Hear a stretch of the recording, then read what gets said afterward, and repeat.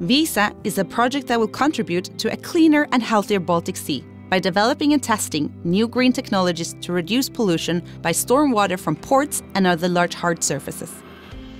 The well-being of the Baltic Sea is our common responsibility.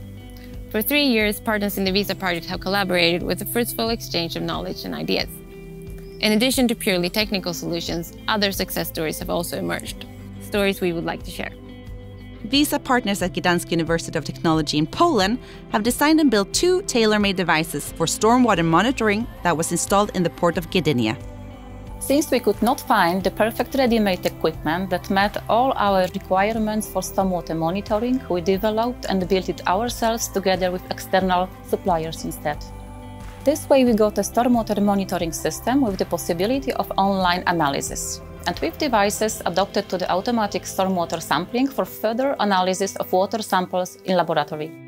The installation gave us additional technical competence on how to build a mobile pilot plant for stormwater treatment using primary tested in lab scale filtration technique. Knowledge that has proved to be very useful in our discussion with suppliers about public-private partnership and the procurement of equipment.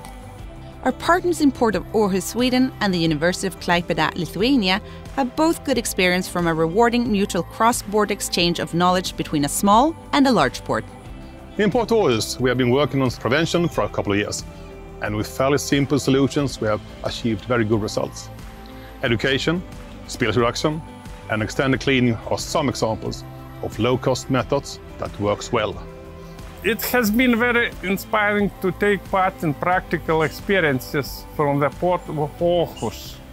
Although the port of Klaipeda is the fourth largest around the Baltic Sea and much larger than Åhus, similar methods work just well there. Preventive methods are easy to implement and provides cost-efficient results very quickly. Krinova has a long experience of working with business models from different industries. This has been very useful in the WISA project, where we have been able to develop, build and test different business models for the ports. The result is very exciting, and these models will most certainly be used in future projects. The workshops have aimed to define new concepts that could be brought to the market in the future. Besides that the ports in the project can use these solutions, we also believe that in the long run, the solutions can also help other ports to reduce emissions in stormwater.